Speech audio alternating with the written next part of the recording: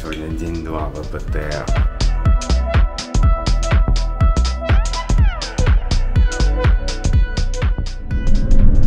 Там немножко Вегаса утреннего, прохладного.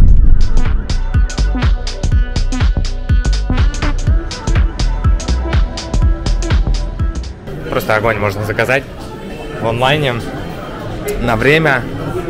Все составляющие кофе, типа его горячесть, молоко. И вот он тебя ждет на входе в казино. Это приятно. Снимают уже меня. 466, кстати. Реально 90 минут уровня. 466 это прям последний стол. Вообще съемки на каждом углу. Так, на подходе к нашему столику. Выглядит неплохо. What's up, guys? Hello, everyone. For 66 one, right? Correct. Ну что, друзья, начинаем. Задерживаюсь по 90 минут уровня. Стол 8 макс. Вот столик сзади меня выглядит отлично. Никого не знаю. Ну, в общем, настроение отличное. За- запаслись э, хорошим самочувствием э, и верой, верой в победу. Так что погнали. Друзья, ну этот турнир он бьет все рекорды. Я напомню вам немножко цифры. Э, турнир по 10 тысяч долларов с гарантированным призовым фондом 40 миллионов долларов. То есть организаторы рассчитывали на 4 тысячи участников.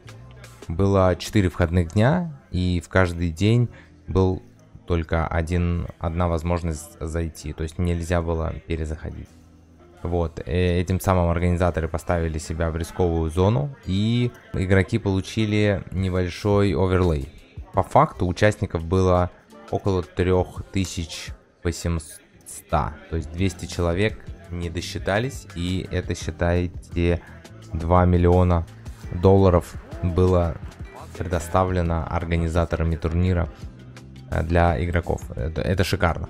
На данный момент мы уже с вами во втором дне. Осталось 1375 участников и 480 из них попадают в призы. Минимальные выплаты э, составляют 18 700 долларов, а за первое место, ребят, там больше 5 миллионов. Удачи! Так, начали бодренько, нам сдали туз король, разномастные из ранней. Я рейс, за спиной товарищ Кол и парнишка на средней позиции играет сквиз. А, Эффективный стек у него чуть меньше 50 блайндов, поэтому для нас тут довольно-таки простой алын. Ничего не нужно придумывать. Нас ждут, в принципе, неплохие новости. Там тоже туз король, хоть мы бы и предпочли забрать банк на префлопе. А, правда, одномастная. Давайте посмотрим, сможем ли мы увернуться от флеша. А, флоп с двумя бубами. Отлично. У нас бэкдор флеш. Терн еще одна буба, ребят.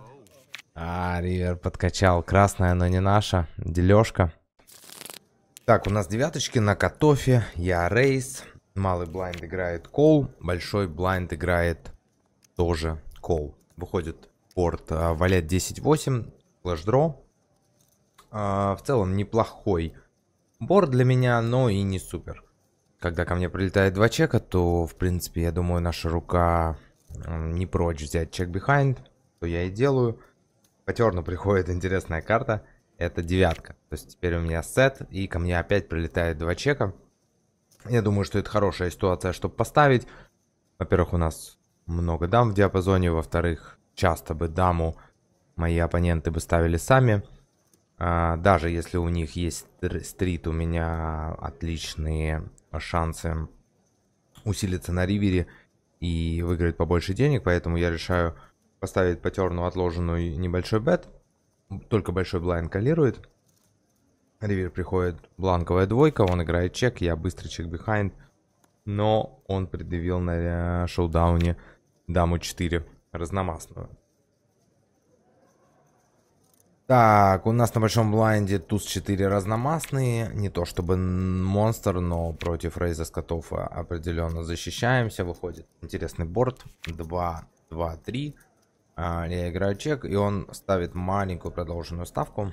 Я на секунду задумался над чекрейзом, но все же думаю, что лучше чекрейзить какие-то руки с дополнительным equity, типа бэкдоров, поэтому нажал кол. Turn 8, я играю чек, и он ставит вторую ставку в районе полпота. А, интересный момент. Ну, я думаю, что мы обязаны калировать, потому что мы все еще бьем кучу э, дро, просто каких-то оверкарт. У нас есть э, гадшот и туз хай. Поэтому в целом довольно-таки э, простой кол по терну, на мой взгляд. Ривер семерка. Мы играем чек-чек. Я переворачиваю свою руку, думая, что я победил, но мой оппонент гордо перевернул туз 9. Интересный розыгрыш от него, то есть, может быть, почувствовал слабость от меня на флопе и а, поставил вторую такую ставочку, да, на value protection. Может быть, просто не знал, что делать и поставил второй раз, думая, что у меня в чеколе флопа много оверкарт, которые он бьет. В общем, как бы то ни было, но фишечки поехали к нему. Благо немного. Так, дальше у нас хорошая. Туз 10 разные. Э, из ранней позиции открываюсь, и большой блайнд играет кол. А флоп выходит шикарный. 10-9-4. Разномастные. Наш оппонент играет чек, и я ставлю продолженную ставку увеличенного размера, полпота. Думаю, нам не стоит мелочиться. Мы репрезентуем сильный range из ранней и хотим вносить побольше денег в банк. По терну приходит туз. Дела еще лучше обстоят сейчас. Оппонент играет чек, и я продолжаю наваливать. Э, думаю, что стратегия ставить крупные ставки здесь очень уместна. Ставлю под 80% пота. Все так же репрезентую очень сильный range и получаю от ББ кол. Шикарно. Ривер приходит бланк относительно семерка. Она, конечно, закрыла какие-то стриты на валет 8, но это практически нереально. Наш оппонент всегда фолдит валет 8 по терну. Поэтому я в 95% случаев уверен, что у меня лучшая рука. И э, теперь осталось решить, сколько мы хотим поставить. Думаю, что сильно много мы ставить не хотим, потому что оппонент смотрится на десятку, и мы хотим получить проплату, но при этом мелочиться тоже не хочется, поэтому выбираю сайзинг что-то в районе 70% пота. А, думаю, что десятка должна осиливать такой бет иногда, хотя и это действительно тяжело. Вот, но после моей ставки оппонент ушел в трехминутный танк, думал, думал и, к сожалению, ничего не придумал, выкинул. Ну, я понимаю, что с десяткой здесь тут довольно-таки сложно заплатить, но банчок хороший, и он у нас. У нас валет 8, одномастный на большом блайнде, и тайтовый дедушка со средней позиции делает рейс. Мы, конечно же, играем кол. У нас отличный стартер, особенно для защиты на ВБ. И выходит интересный борт, валет 7 мелкая. А, я играю чек, и здесь происходит э, любопытный момент, что агрессор, тот самый дедушка, ставит овербет. Честно говоря, очень неприятная ситуация. Но я думаю, что стоит перебороть все свои страхи и сомнения и на флопе нажать кол, потому что, ну, у нас тут пара. Он может так, я не знаю, переоценить какую-то руку. Э, мы в целом заходили на префлопе не для того, чтобы выкидывать топ-пары на флопе, поэтому э, забываем страхи, играем кол, и, конечно же, смелость вознаграждается, и по терну нам доезжает восьмерка. Теперь у нас две пары. Э, СПР равен о, около единички. И я решил, что нужно помогать ему вносить деньги в банк. Более он изображал силу слопа, поэтому решил поставить небольшой литбет по терну. Э, или донгбет, как его еще называют. 25 тысяч. И получил довольно-таки быстрый рейс на свою ставку 75 тысяч. Как я и говорил, за спиной у него осталось уже совсем немного, поэтому я ставлю. Э, через пару секунд раздумий он калирует и пока переворачивает две девятки. То есть у него действительно была сильная рука на прифлопе, но на флопе уже недостаточно сильная для такого розыгрыша. Нам осталось только устоять. Да, Друзья, мы это делаем и забираем отличный, отличный банк. Разваливают наш столик. А, я думал, наоборот, будет В итоге оказалось, что нет. Но здесь мы неплохо провели время. Наш стол 4-5. Good luck, gentlemen. Ciao. 134? 134 is the left corner. Окей, okay, thank you. Sit 5 у нас теперь. На пятом сити мы еще не играли. Нашли наш стол. Э, Такой интересный, как будто бы. Большие стеки везде и рядом стеной. Let's go. Так, вот уже мы за новым столом, и у нас карманные двойки на малом блайнде. Баттон открывается, я играю любопытный кол, и большой блайнд тоже заходит в раздачу. Выходит флоп мечты, король 8-2, радуга. У нас нижний сет, я играю чек, большой блайнд играет чек, и ожидаемо button ставит продолженную ставку. Здесь можно рассмотреть check-raise, но я думаю, что это будет очень сильно смотреться. Плюс мы только что сели за стол, ничего не знаем про наших оппонентов, они ничего не знают про нас. И мы хотим оставить большого блайнда в раздачу, у которого может просто не быть equity против нас. Поэтому я решаю сыграть call, но, к сожалению, большой блайнд фолдит. Зато по терну приходит шикарная карта, это туз, а, которая подходит диапазону Баттона и в которую он часто будет продолжать наваливать. Поэтому я опять играю чек, и ко мне прилетает второй большой баррель. Думаю, мы здесь всегда играем кол. У нас, скорее всего, нету просто диапазона чекрейза по этой карте. Э, мы вынуждены защищаться. У нас куча просто король X, каких-то голых тузов. У оппонента огромное преимущество по натфам в данной ситуации, поэтому мы играем вроде как слабый кол, но на самом деле, конечно же, у нас невероятно сильная рука. Ривер дама. Здесь, конечно, уже можно начать напрягаться, что доехали какие-то стриты, но мы этим заниматься не будем. Будем просто придерживаться плана. Играем чек в надежде калировать еще одну огромную ставку. Там может быть как value, там может быть э, и так и блеф, который мы бьем. Но, к сожалению, оппонент играет чек behind, и мы вынуждены первый перевернуть наш сет с флопа с э, возгласами «Ай-яй-яй, не добрали по риверу» в очередной раз не посмотрели, что было у оппонента. По турнирным правилам э, сначала переворачивает э, тот игрок, э, кто находится без позиции на ривере, если не было ставок. Но в любом случае не жалуемся. Первый же банчок за новым столом приличный едет нам. У нас отличный стартер на баттоне, туз дама разные, играю рейс и малый блайнд заходит колом. Выходит э, любопытный борт, валет 9 мелкая. Мы играем э, продолженную ставку. У нас неплохие бэкдоры, две оверкарты, инициатива. В общем, мы заряжены. А, но получаем кол. Приходим на терн. По терну король. Э, интересная карта. Закрывает какие-то стриты на даму 10. В принципе, усиливает диапазон чек-кола до каких-то пара плюс дро рук, до двух пар возможно. Но при этом у нас все еще преимущество по нацам. У нас есть все две пары, все стриты, все сеты. У нашего оппонента чуть меньше всех этих рук, хотя он тоже не капнут. В общем, я решаю продолжить. У меня открылось дополнительное эквити.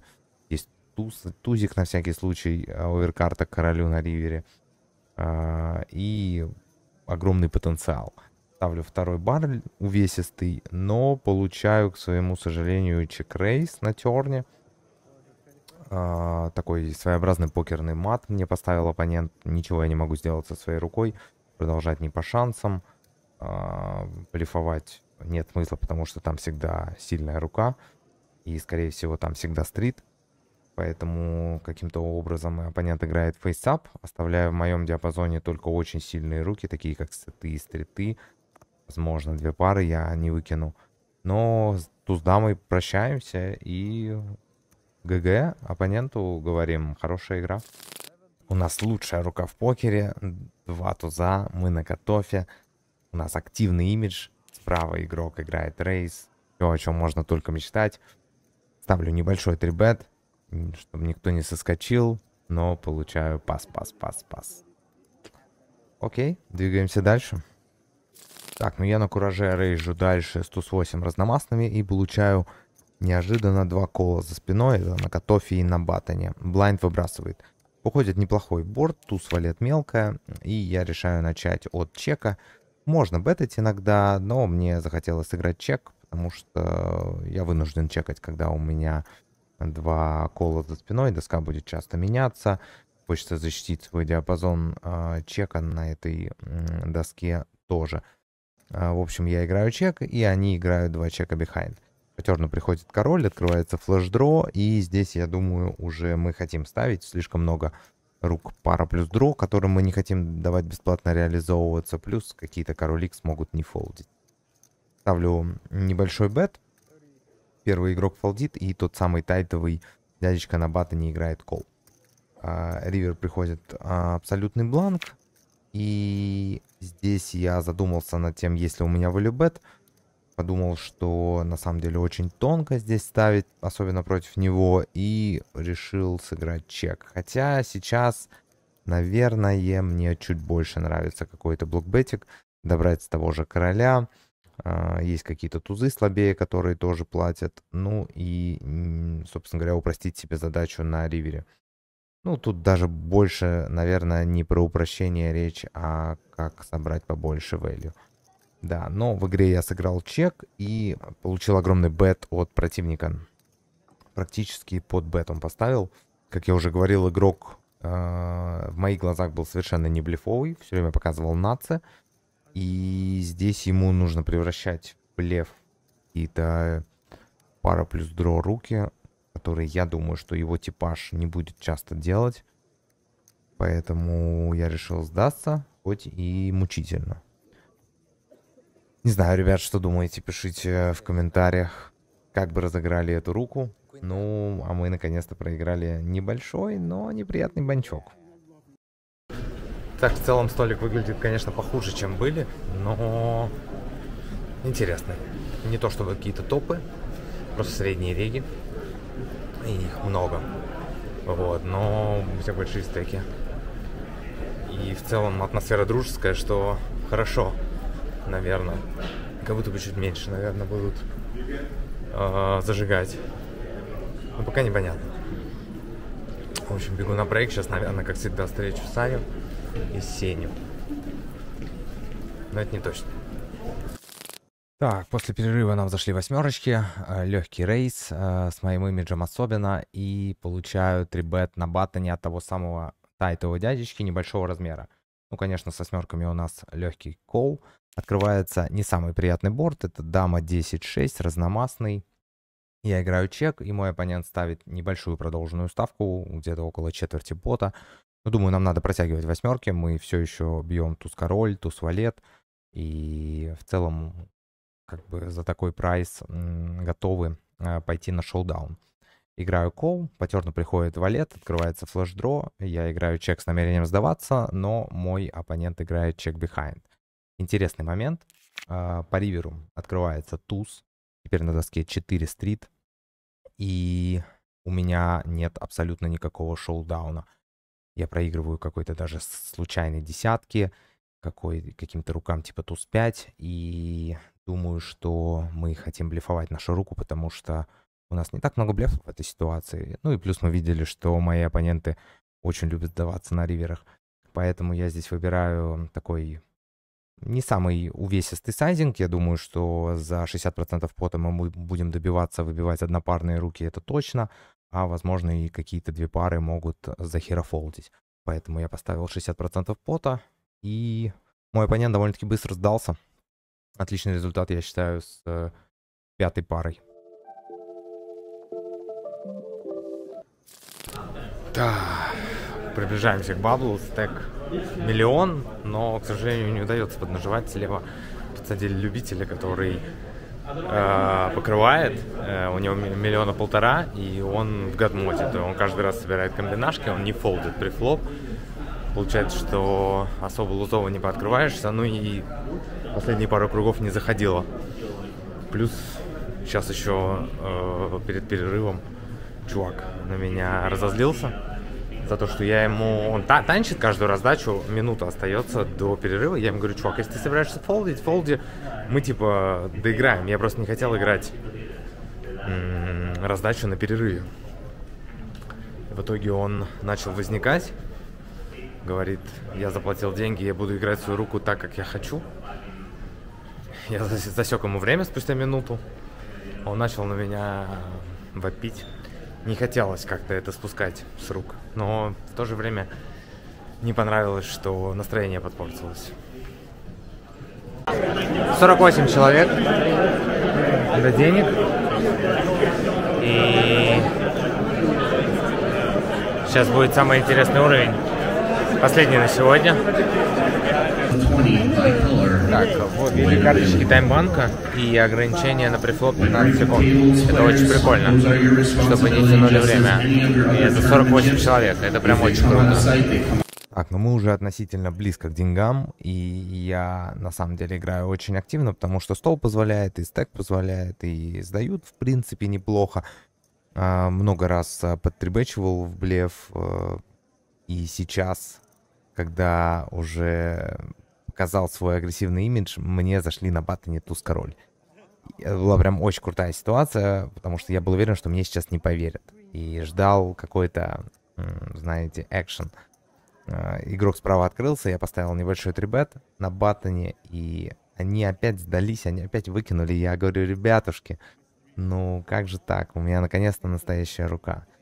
Но экшена мы не получили, в принципе, туз король довольны забрать шашки на префлопе, так что я не жалуюсь. I was really going to free bet you light, but I had a hand again. It's insane. Too good, too good for this. Too good for this situation. Looks very bluffy, right? That's what I'm saying. I, I don't need that. I don't need it such a strong hand right now.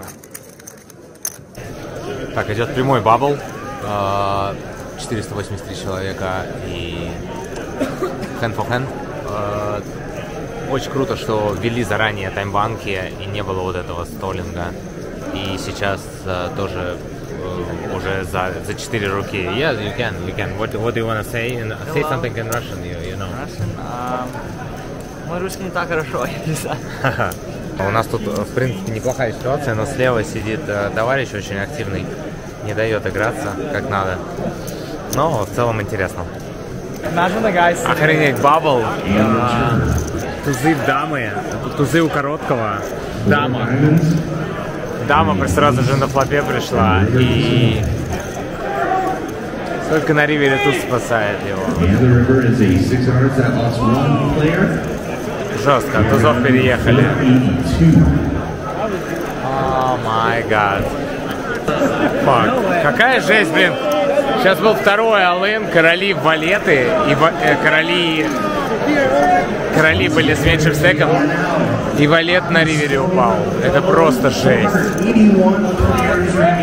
Жесть. Так, бабл у нас в самом разгаре. Мне удается потихонечку выигрывать фишек без сопротивления, без боли. Это вообще э, лучшее э, время в турнире. Э, скоро призы, все в них хотят в них попасть. Ну, а мы очень комфортно себя чувствуем за столом, выигрывая мелкие поты.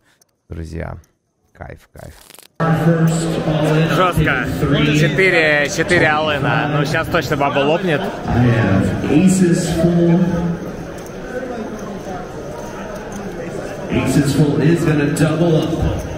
Так, один с тузами удвоился, отлично. Aces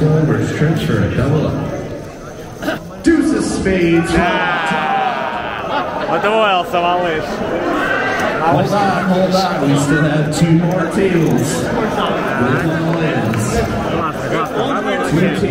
Когда ты большой стек, хочется, чтобы бабл никогда не заканчивался.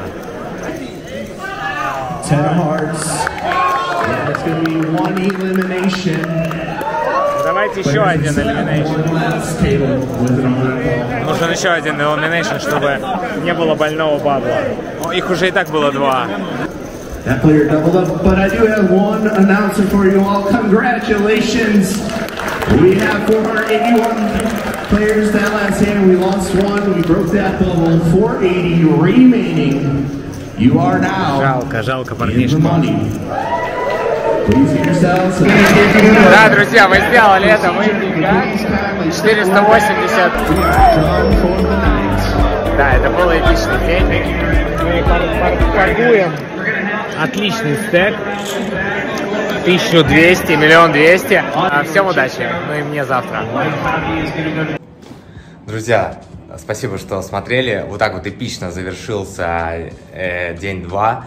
Мы прошли с крутым стеком, мы нажили на бабле, мы получили вот это удовольствие от игры. Это то, ради чего мы, собственно говоря, играем турниры, да, чтобы депранить, чтобы чувствовать вот эти крутые эмоции. И, конечно же, это несравнимое ощущение. И, друзья, напоминаю, что у вас есть такая же возможность, потому что в мае проходит э, мега крутая серия на Кипре MPP Mediterranean Poker Tour э, в Мерите. И она идет в партнерстве с GG, с PokerOK. И на сайте PokerOK во вкладке «Приватные» есть отборочные сателлиты, которые начинаются от 1 доллара. Вы можете отобраться в финальную фазу за 525, которая будет в это воскресенье. И, друзья, это последняя фаза, которая будет доступна, в которой вы можете выиграть... О, кто-то подписался на Twitch. Спасибо. Не забывайте, кстати, про подписочку и лайк. Так вот, это будет последняя фаза, в которую можно будет вы- выиграть билет, э, пакет 10 тысяч долларов. Туда будет включен перелет, проживание, buy-in в main и в side event. И самое, что крутое, что там будут все, будут все амбассадоры, будет, э, будут все профессиональные игроки, о которых вы только хотели когда-либо увидеть, они все будут на Кипре, поэтому не упустите эту возможность. Вкладка «Приватные», тащите саты. В воскресенье буду тоже играть сателлит, последняя возможность. И встречаемся на Кипре, но до этого встречаемся вне 3. Ждите продолжения совсем скоро. Спасибо, что смотрели. А, Не забывайте про лайк и пока. Спасибо.